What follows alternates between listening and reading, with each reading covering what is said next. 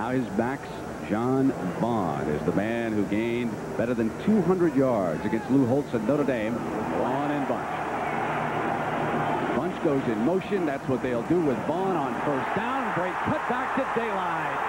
40, 45, 50, inside the 40-yard line with Carlton Gray catching him from behind. The offensive line, opens the way. I get an email March of this year from one of my best friends and ex-teammates at Michigan uh, who uh, pointed me to a February article that came out in the Detroit News about allegations against uh, Dr. Anderson, who was the uh, team doctor um, while I was at Michigan. My initial thoughts were confusion, uh, disbelief,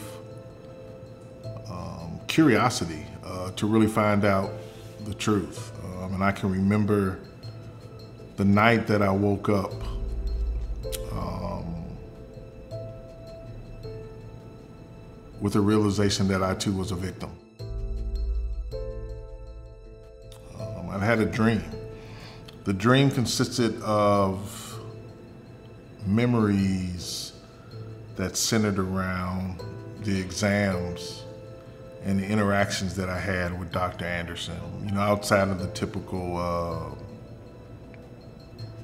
physicals to be able to play, there were, I could smell the room.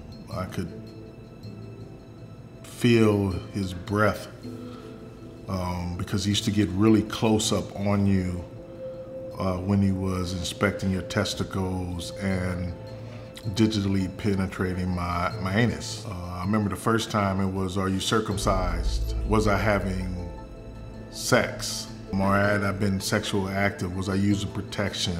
Let me look at your penis for any, you know, abnormalities. And then those were always preceded with um, one or two fingers being uh, inserted into my rectum. There's no reason why I should have had a prostate exam at 18. And there's no reason why I should have had a prostate exam time after time after time after time after time after time while I was at the University of Michigan.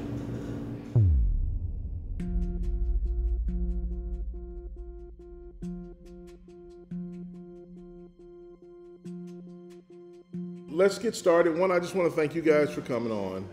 Ivana Clark, um, esteemed journalist uh, who I feel like I know you from your writing.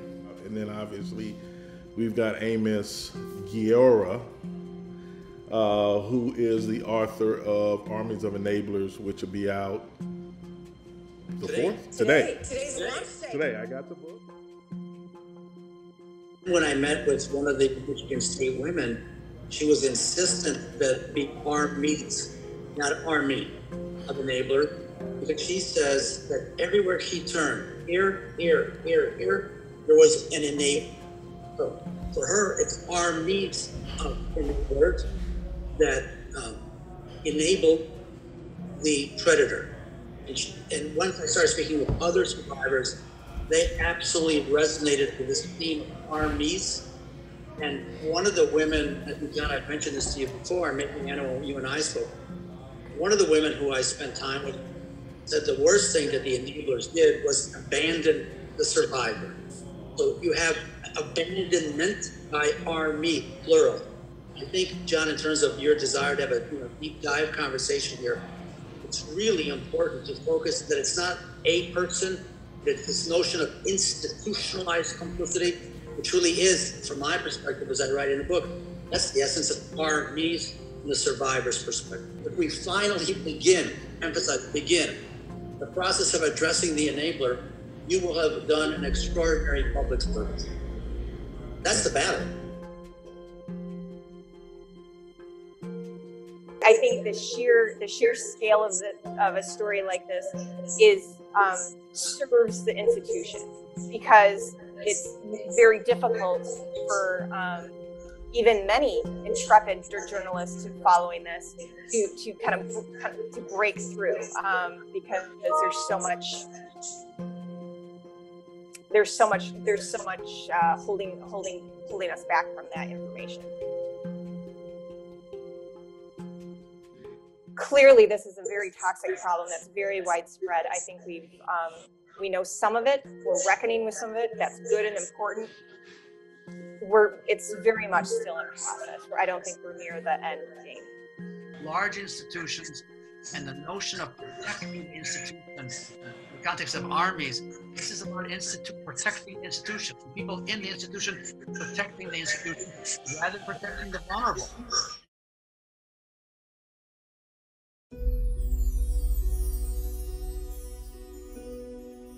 There were four distinct times that this predator could have been stopped 1978, 1988, 1993, and 2018. In 1978, uh, he was fired and then unfired as allegations of sexual harassment, sexual abuse were made by a male student. To only be unfired and then ceremoniously uh, celebrated and then buried within the athletic department under the guise that we will take him out of circulation or seeing the paid, more affluent students, and then um, he will work with the scholarship athlete that obviously came from a lower socioeconomic and ethnic background. In 1988, I stepped on campus at the University of Michigan as a student athlete. At that time, Don Canham, the athletic director, had retired. Bo Schembechler still the head coach, but he also took on the responsibilities of athletic director. That was probably the time when Bo had the most power and authority at the University of Michigan. But coinciding with that power and authority is when I was raped the first time by Dr. Anderson. You've heard some argue that Bo didn't have the power that Don Canham had at the university, but at that point, Bo was athletic director and could have fired this doctor. That doctor was not fired. In 1993, uh, the University of Michigan actually purchased the private practice of Dr. Anderson. And up until 2018, there was a letter that was sent by a former wrestler, uh, last name DeLuca, to Warde Manuel, the athletic director, about his experience and sexual abuse at the hands of Dr. Anderson. The university didn't even admit to any possible wrongdoings until an article came out in February of 2020 in the Detroit News that told the world about what had been going on in Michigan for the last 40 to 50 years. Under the real revelation that, um, revelation and realization, actually, that I was a victim, and seeing how the university since February not only has or did hire the attorney that represented Jeffrey Epstein and Roman Polanski but to also, outside of a federal lawsuit, contacted over 300,000 former students outside of the time that they tried to contact close to 7,000 former athletes about their experiences at the University of Michigan during the tenure of Dr. Anderson and how the narrative has been controlled and pretty much directed by the University of Michigan, not from the voice of a victim like myself. I decided to tell my truth.